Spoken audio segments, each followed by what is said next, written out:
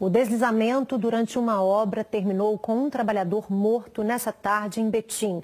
O homem de 38 anos acabou soterrado quando realizava os serviços para a transição de uma passarela na Avenida Edmeia Matos Lazarote. Funcionários que trabalhavam no local conseguiram retirar o homem, que estava totalmente soterrado. Quando as viaturas do Corpo de Bombeiros e do SAMU chegaram, a vítima sofria uma parada cardiorrespiratória. Foram realizadas manobras de ressuscitação, mas sem sucesso. As causas do deslizamento estão sendo investigadas.